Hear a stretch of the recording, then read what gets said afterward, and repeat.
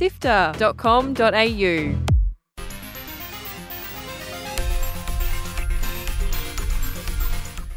G'day and welcome to Drop Rate by Sifter. Drop Rate is Sifter's review podcast packed with thoughts and feelings about the newest video games, giving you insights from some of the best games writers around. My name is Chris Button, and today we're talking about 2023's most anticipated game, Starfield. Joining me to discuss Bethesda's epic sci fi RPG is Jess Zammit from player2.net.au and Sifter's own Gianni Di Giovanni. Before we get into the discussion, though, here are the top stories featured on Walkthrough, Sifter's weekly news podcast. Hi, I'm Kyle Pauletto. And I'm Fiona Bartholomaeus. And here are the top stories this week on Walkthrough, Sifter's weekly news podcast for Sunday, 12th of November. Sony Pictures and Nintendo team up for a live action film adaptation of The Legend of Zelda. Valve announces the spec bumped new Steam Deck OLED, tweaking and improving everything. Australian indie CRPG Broken Roads is delayed to 2024, a week before it was due to launch. And the Overwatch League is officially done, with Blizzard and teams announcing the end. You can get every episode of Walkthrough for free on Apple Podcasts, Spotify, YouTube, or on our website sifter.com.au every Sunday.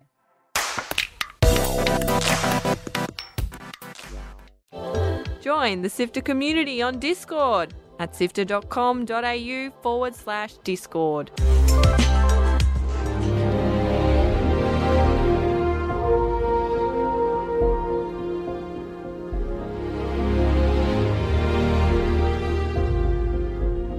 Gianni, starting with you, Starfield continues Bethesda Game Studios' rich history of making large scale, big RPGs. Tell us, what's the basic concept of the team's first new IP in 25 years? Yeah, so um, if you've played a Bethesda game in the past, this is a Bethesda game through and through. It's a large scale um, mostly open world RPG um, where you are going through the world, um, discovering quests and items and collecting loot and all of that sort of thing. Um, so, much in the vein of their previous games. Um, you know, Morrowind, all the Elder Scroll games, um, Skyrim, of course, uh, all the Fallout games as well. but it's always been a long dream, uh, according to Todd Howard, to take an RPG to the stars. And this is Starfield. It's the science fiction themed, set in a nearish future uh, world uh, in our own world. Um, so there's a bit of historical uh, context, which of course plays into that instead of being completely fantasy like some of the other ones are, um, where you uh, build ships, uh, you go to planets, you fight enemies, uh, you rinse and repeat again and again and again and again, um, and really explore a really sort of interesting and broad world. It's um, quite uh, fascinating to sort of just dig into the little nooks and crannies of this world. And, and half the fun for, for me, and I think for a lot of other players, is uh, just stumbling across cool and interesting things, which we may discuss whether or not Starfield does this uh, as good as some of the previous games. That broad world and so much to do and, and, explore is a core part of everyone's experiences that I've seen with Starfield so far. And to that point, Jess, I know that you put in about 50 hours prior to publishing your review for, for Player 2. And, and I know you mentioned that really felt like it only scratched the surface of what Starfield has to offer. What, what, what did Starfield do well during your time with the game ahead of review? Yeah, so I, I mean, I think it does a lot of things well, and yeah, I, I imagine we'll talk more about whether or not it's kind of groundbreaking and you know all the things it promised to be. But um, I think it's really easy to get lost in um i you know usually when you're thinking about reviewing a game it's like okay how can i get the full experience of this game while still you know completing as much of it as i can so that i have a full kind of picture of this um of like what the game is supposed to be? Um but with starfield i found myself really not wanting to rush it i guess kind of letting myself get distracted and you know you'd be walking around a, a town and you'd overhear a conversation from some people and that would give you a new objective like oh go check out what these people have been talking about. And so i would just fully like abandon the quest line that i i was currently on and and go chase that instead. And i think that it, what it does really well is that there's a lot of ways to kind of go off the the the track that you're on and and explore what the world has to offer. Um and there are a lot of those little stories that kind of seem really innocuous when you start um, and it's like, oh, you know, go investigate what's happening at this person's house or whatever or like you know oh someone someone hasn't been seen around the the area they're supposed to be for you know a while. Wonder what that's about. And people are just kind of musing. And it actually turns into this big quest like multi-stage thing that's that's um actually really dense. And yeah that for me is what starfield really kind of shines in. Um so much so that there are entire bits of the game like the shipbuilding um, and you know outpost building and stuff, which we can also talk more about. Um, that I barely touched on in 50 hours because I was too busy being distracted by the story. That's really fascinating because I almost did exactly the opposite to what you did. Really? I almost played no quests and just built outposts and spaceships and fought in battles. And that's such an interesting thing about Bethesda Game Studios titles is that they do offer such a broad palette of experiences and you don't need to engage with all of the game systems to to enjoy it or to, to still walk away feeling like you've had a full experience.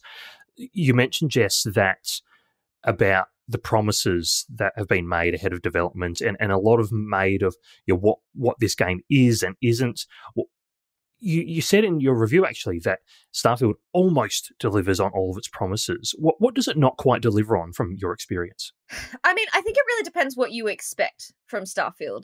So for me, it was kind of everything I wanted it to be. It was, you know, this this big kind of I don't know, Mass Effect slash Fallout slash a bunch of other stuff.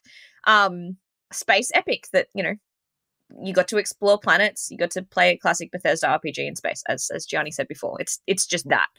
Um i think there are um if you were particularly interested in you know the actual space travel sections so being in your ship traveling between planets um that all happens quite quickly in the game. There's a lot of fast travel and a lot of kind of zap from a to b and not a lot of just like ambling around the stars um, which I I think maybe some people expected um, and was maybe sort of promised.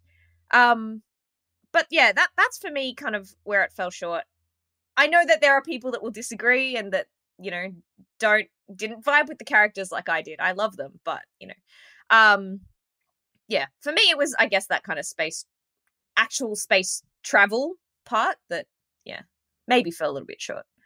Yeah, and Gianni, the, the, space travel, or more specifically, the, the, the shipbuilding and spending time with your ship and that customization is something that you've clearly resonated strongly with and spent a lot of time with. Tell me more about your experience with the shipbuilding and what's drawn you to that. Well, I think to, just to go to Jess's point there, I really do agree that the space stuff isn't what I guess most people were expecting, especially when you look at something like, and the comparison has been made many, many times, but No Man's Sky, right? Which really does have that sort of seamless moving from planet surface into space. Now, Starfield is not that. It is a series of different themed rooms that you move between effectively. Um, and there's lots of loading screens. And I think that does has actually hamper some of the experience of doing that. But, but what I really did like about the um, the use of the space combat is it actually to me felt something very different to what we had seen in uh, a game like this before because normally you know moving between rooms is not new to to Bethesda games um, but uh, what it does really fascinatingly is it it gives you this whole extra layer that has never been tackled before and I I was someone who played a lot of um, of Fallout 4 um, and played a lot of the uh, the outpost building mini game effectively and and put 300 hours into that game and never finished it. Um, and so I really liked that element and also the sort of dynamic radiant factor of going off and all of a sudden you're on a planet and a, and a, ship flies in and you can go and see if there's someone you need to help or someone you need to fight and then once you've done done that you can just pick up and yoink their ship off into space. Um, you know, and that was really enjoyable every time. Um, you know, I found that to be quite a fun experience to kind of jump in and out of to do little pieces of that. Like you would just go and explore a planet surface or a moon surface or whatever it was. Um, and then you know see what you can accumulate and some of the cooler ships that i found were just random ones that i found about the place and they ended up being part of the experience of doing that. And then when i started digging into the actual building mechanism it's really intuitive and it's really nicely designed um, and it looks cool actually looks really cool. And i think the best thing about this you can say for this game is that it really looks cool and the art team have done a phenomenal job on this. It's really consistent um, uh, really clear vision about what they were trying to achieve. Um, and they've done a really good job of that. And building ships are really viable. There's like, you know, you, there's a lot of headroom in order to experiment and play around with things. Um, you know, for people who've played things like Armored Core, I know that's a big factor of this as well. Obviously, it doesn't have the complexity of that game. But if you want to sort of dip your toes into the water and build, you know, an X-wing, or you want to build, uh, you know, a, a Enterprise or whatever, you probably can um, to some extent. It'll be a slightly different modified version, but that sort of sandbox stuff I find to be really fun. And I really love seeing what people can make with that stuff when they're really creative. So for me, watching that experience has been really rewarding um, as part of it. But you know, on the other side of that, the the storyline stuff did, didn't grab me to be like you know I kind of did a lot of it um, and kind of just moved through. Um, but the if you compare it to some of the writing, even in other um, RPGs, um, it, it, the worst disadvantage is this game came out right after Baldur's Gate, right? Which has such a complexity and a depth um, to it, and um, it really doesn't. And you know, you're supposed to have these, and even Mass Effect, right? We've talked about Mass Effect too, which has this big space opera. Again, the relationships you build with the characters are really like surface level. Like, you know, uh, one of the companions I had, I was just like, could, you know, hit the button to flirt or whatever. And all of a sudden, oh, yeah, we're in love. And it was like, I'm your best friend forever. And you're like, well, we've really only been like run around doing, you know, blowing up a few, but like we haven't really built much of a meaningful relationship. So, you know, I think if you come into it and, and really approach it as a sandbox, um, for me at least, that was what was the most enjoyable part. And, and really like, hooky too. I just kept thinking about it and I'm like, what can I go to explore? What can I do? And in those early stages before all the guides and everything has been put on the internet, you just have that fun to just go and look and, and find. And that was really cool. And on, on the story note, I've seen, much like in this discussion, a lot of contrasting thoughts from people who really vibe with the story and people who could rather take it or leave it. Jess, I know you feel much the opposite in terms of the way that the characters in the story grabbed you. And I've seen seen you chat about Sarah Morgan in particular as, as a character that you enjoyed the company of, for, for yeah. lack of a better, a better term. T- tell me, yeah. tell me, what was it? What was it that endeared yourself to to Starfield's story and its characters? I don't know. I maybe I'm just like not critical enough of it, but um I really like Sarah Morgan. I know that people think that she's really boring and she's like space cop or whatever, but I uh, I like her. I think she's I think I've known people like her. I think she I don't know reminds me of my own partner. I don't know. She's because she's like so uptight and so concerned about doing the right thing by the people around her, and so you know she has these big dreams and she's really driven, but she's also kind of wants to be vulnerable, I guess, but has these experiences in the past where she has been vulnerable or she's she's made bad decisions and it kind of hasn't worked out for her. I don't know. I I could probably talk for a while about Sarah Morgan. I I like her. I see how you might think she's boring, but I I disagree. Um I think you could probably argue that the actual cast of characters that you spend time with is quite small.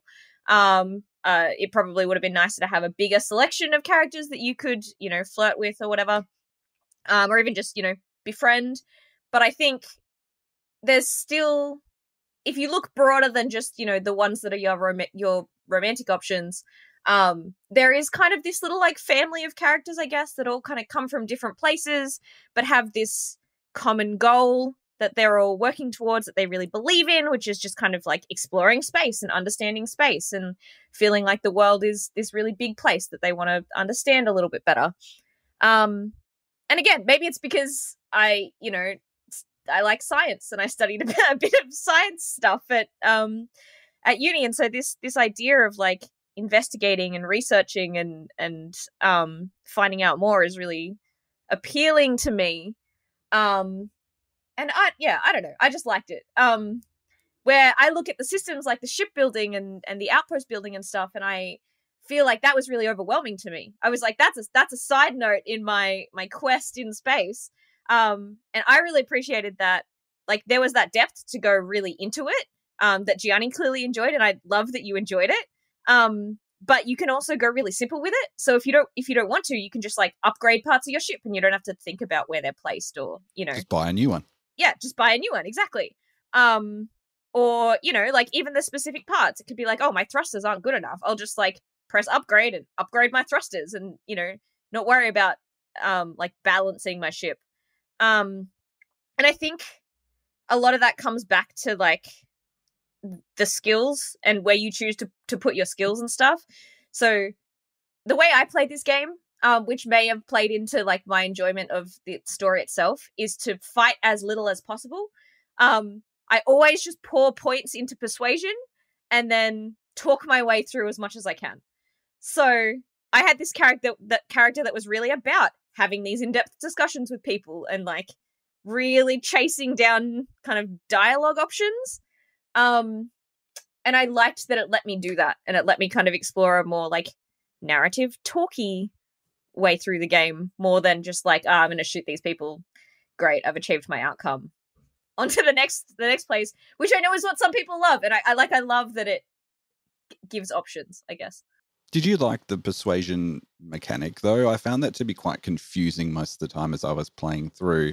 You know, you try to base it on what you think the player wants you to hear, I guess, or the yeah, the NPC wants you to hear. But half the time, I felt like I was just choosing the the wrong answers, and it didn't feel intuitive, or even like you know in previous games where you would get a sort of an idea of a your chance at being successful. Like that felt like a more of a rewarding sort of thing. I'm curious what you think about that.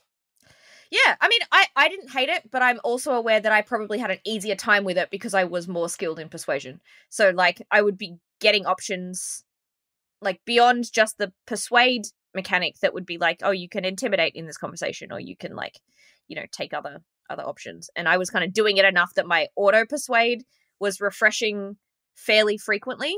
So, if there was a conversation that I really, really, really wanted to succeed at, I could auto persuade and it would just kind of let me through.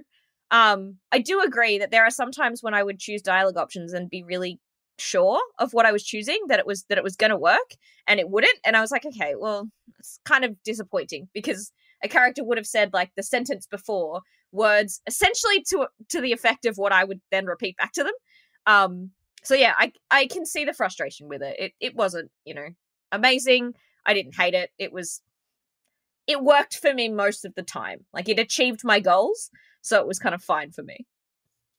Gianni, what to you about Starfield's sort of quests and writing felt a little bit surface level to you?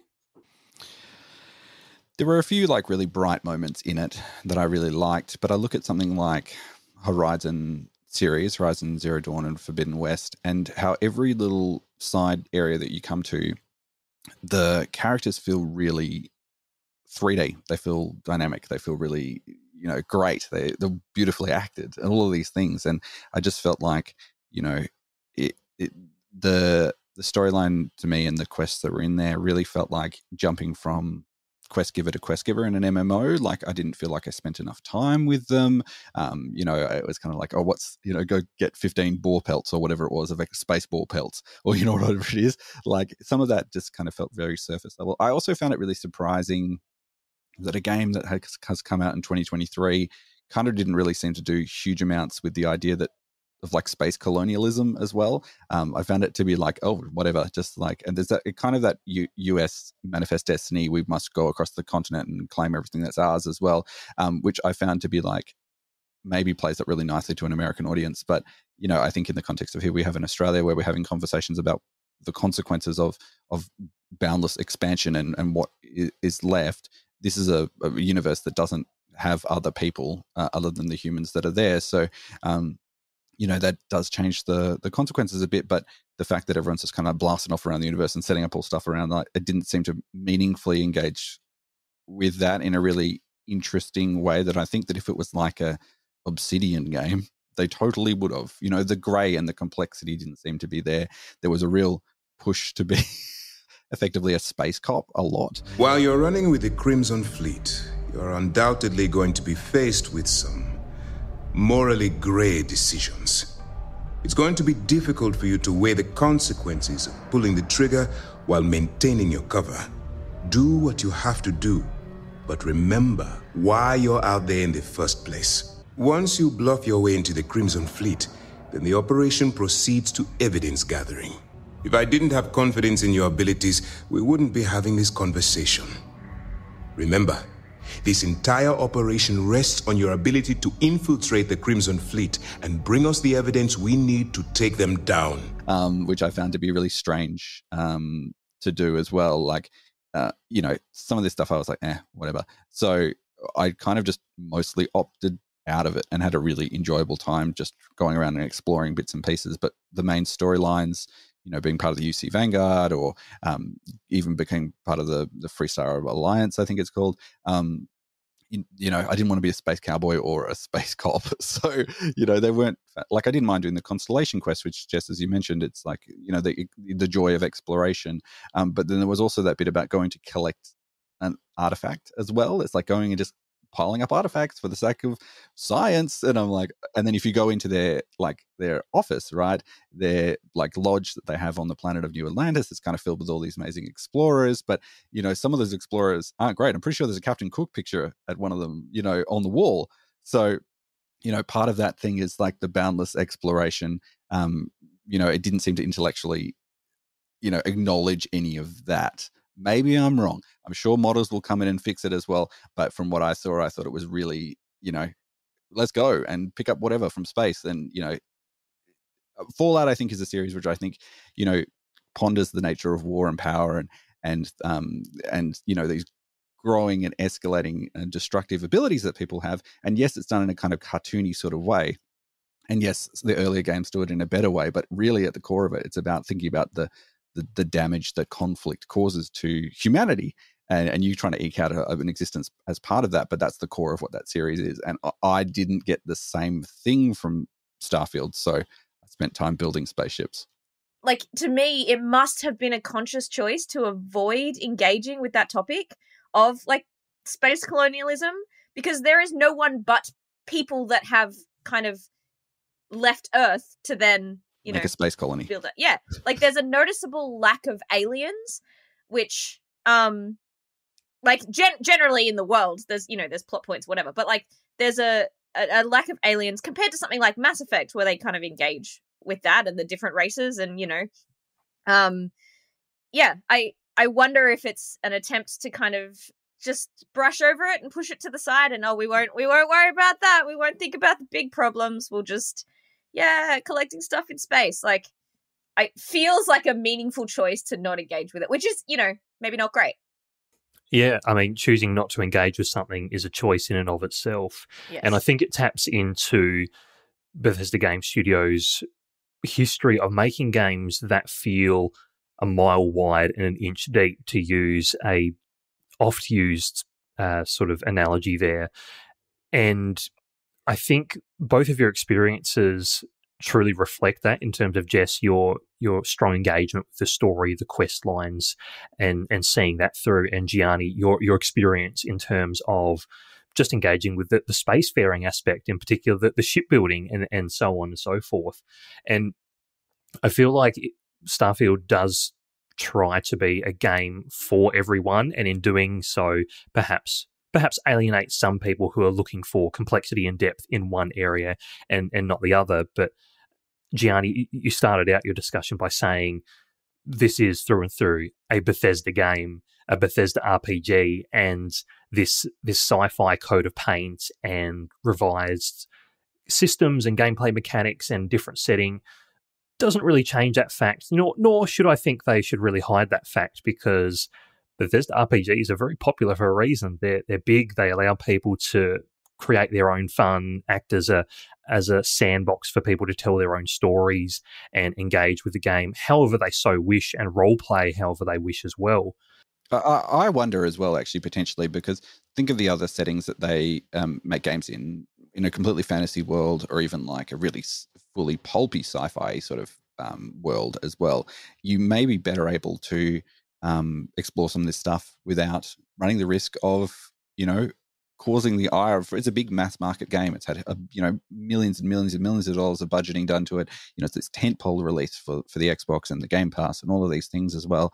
But it's fundamentally still set in a world that's a future Earth uh, that we live in currently, which means you know that, that maybe that doesn't give them the room or the scope with which to explore certain things. It's you know maybe a disadvantage yeah, I, I can't yeah, I, I, don't want to assume the developer's intent, but from the outside looking in, it very much does look like an RPG aimed at sort of the, the widest possible market. And I don't mean that as a, a derogatory uh, sort of observation.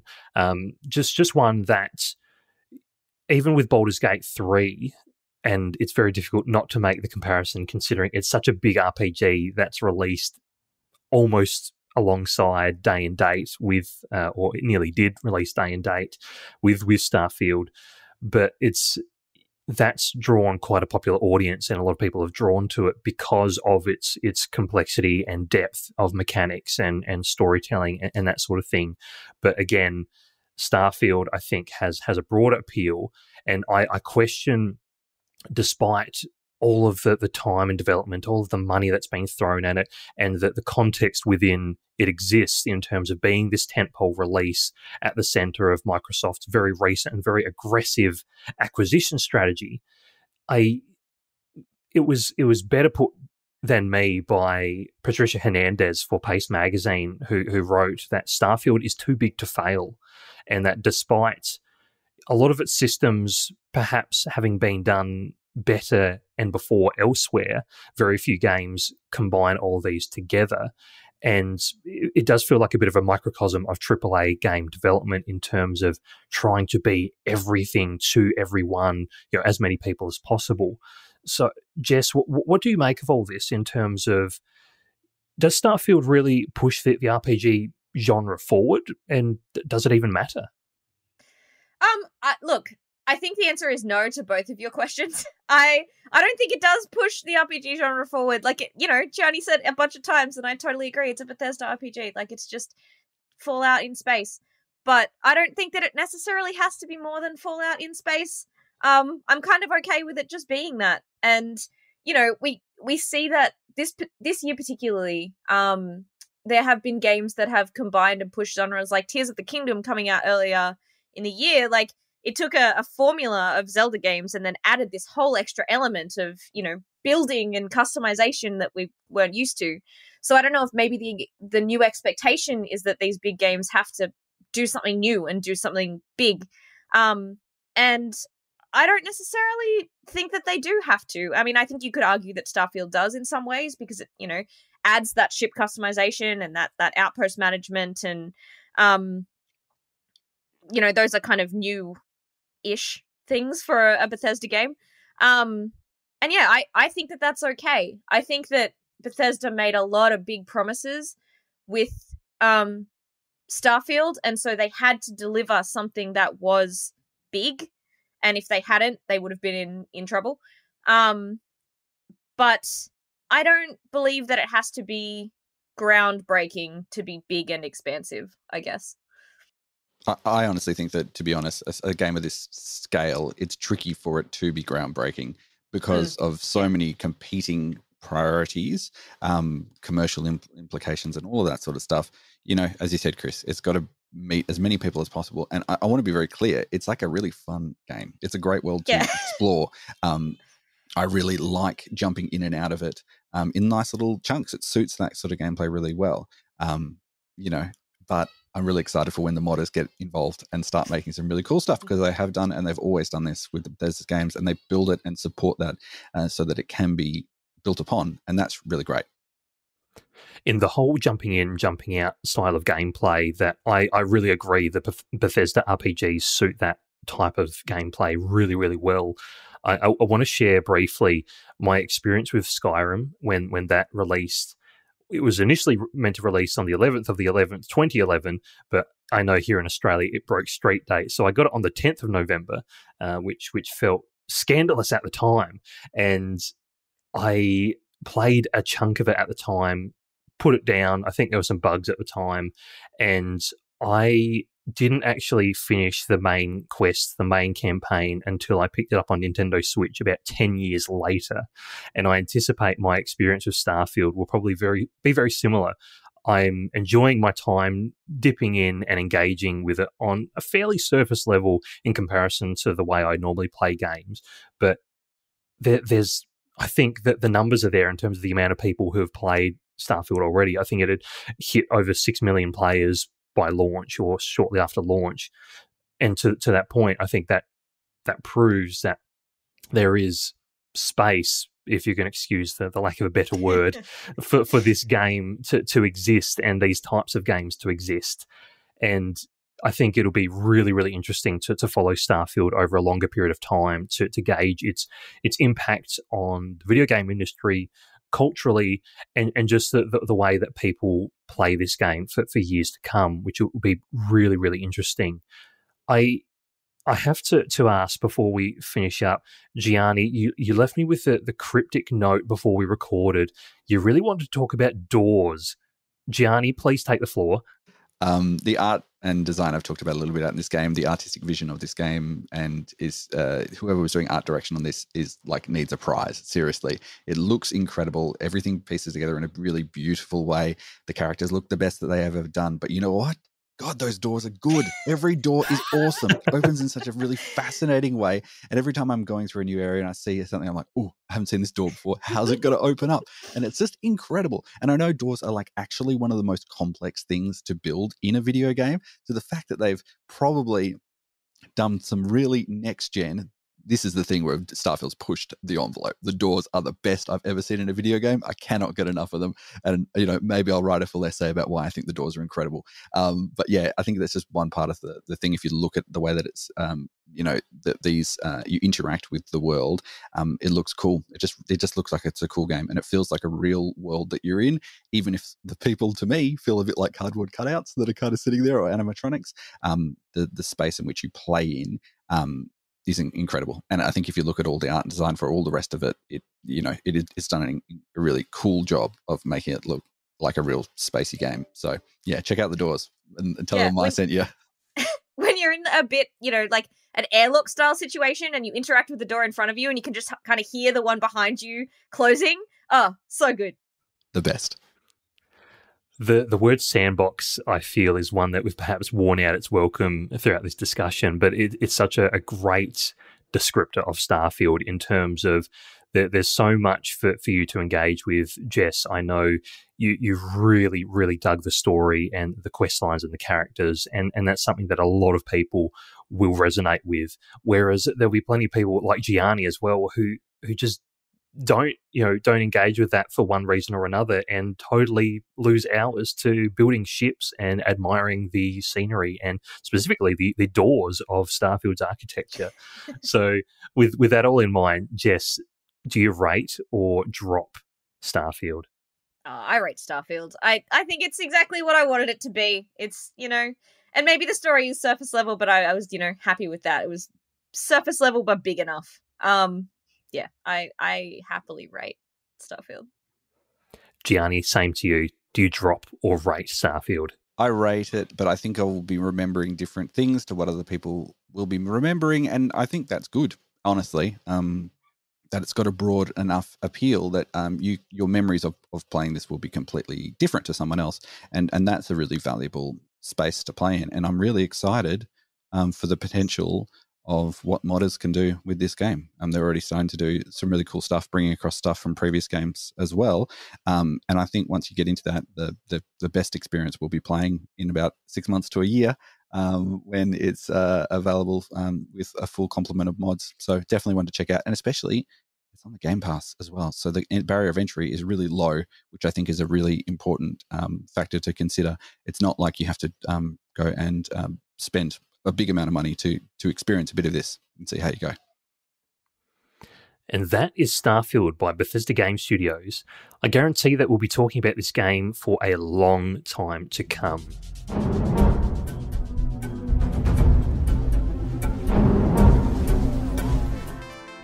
Sit down for a chat with your pals in video games.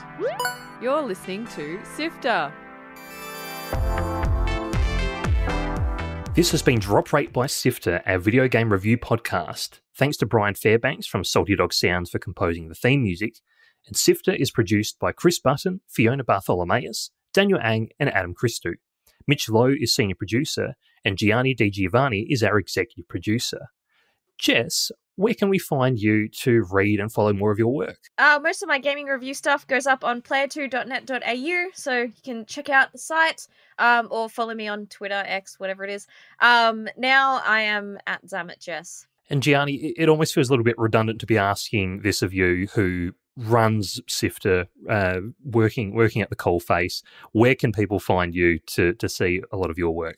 Well, what I would ask you to do is please follow us on anything other than X, any other platform at all, Sure. please. um, find us on um, Sifter HQ, on Blue Sky, on Mastodon, um, on Threads, anywhere else you find us. We've also got a newsletter as well that I'd love for you to jump on board to check out um, if your social uh, account burden has become too too much to deal with currently.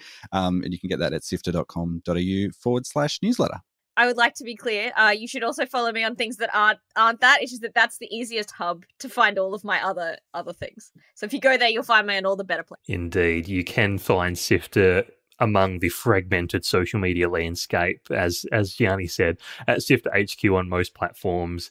There's Discord, there's there's sifter.com.au for written content as well.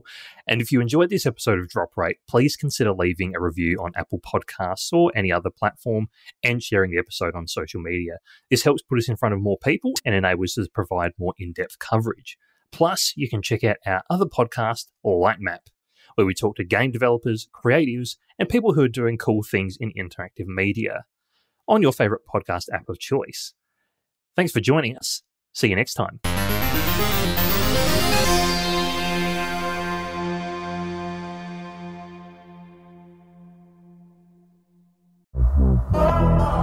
Hey there, Gianni here on the latest episode of Lightmap, Sifter's interview podcast. Abby Howard and Tony Howard Arias join us to share Slay the Princess, a spooky visual novel that really gets you to question what you're actually doing.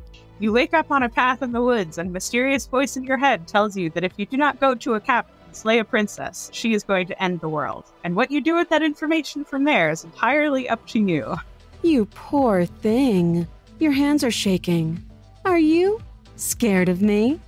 Because you should be. So, one of our challenges has been consistently writing scenarios where there are extremely difficult outcomes, but then there is nothing that can lead to premature player death. So, you make a decision, you live with the consequences, you move on. You can get every episode of Lightmap for free on Apple Podcasts, Spotify, YouTube, on sifter.com.au, or wherever you like to listen.